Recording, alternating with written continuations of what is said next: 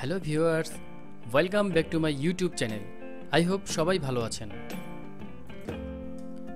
আমি আজ টেকনাফের নাফ নদী থেকে সেন্ট মার্টিন পর্যন্ত সমুদ্র ভ্রমণটি আপনাদের সাথে শেয়ার করব। বঙ্গোপসাগর, বিশ্বের বৃহত্তম উপসাগর। এটি ভারত মহাসাগরের উত্তর অংশে অবস্থিত।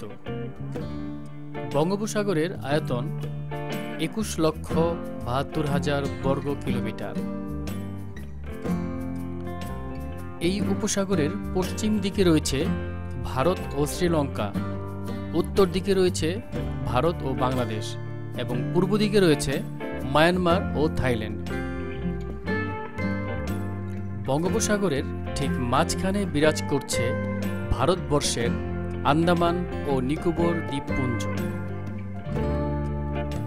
একাধিক বড় নদী এই উপসাগরে এসে মিশেছে।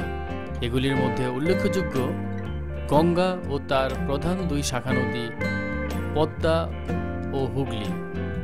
ব্রহ্মপুত্র ও তার উপশাখা নদী যমুনা ও মেঘনা, ইরাবতী, গোদাবরী, মহানন্দী, কৃষ্ণা, সুবর্ণরেখা, কাবেরী ইত্যাদি। বঙ্গোপসাগরের নিকটবর্তী গুরুত্বপূর্ণ বন্দরগুলি হল চেন্নাই, চট্টগ্রাম, কলকাতা, হলদিয়া, মংলা, পারাদ্বীপ, টুটিকুরিন, বিশাখাপত্তনম ও ইয়াঙ্গুন। বিশ্বের বৃহত্তম সমুদ্র সৈকত কক্সবাজার এই উপসাগরের তীরে বাংলাদেশ রাষ্ট্রে অবস্থিত।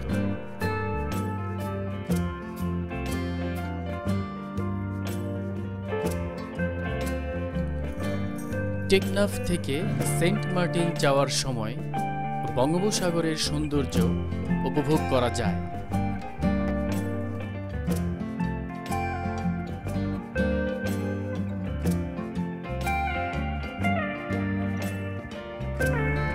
ভিউয়ার্স, ব্লগটি এখানেই শেষ করছি। আবার দেখা হবে অন্য কোনো ব্লগ নিয়ে। সেই পর্যন্ত সবাই ভালো থাকুন, চ্যানেলটি লাইক করুন, শেয়ার করুন এবং সাবস্ক্রাইব করুন।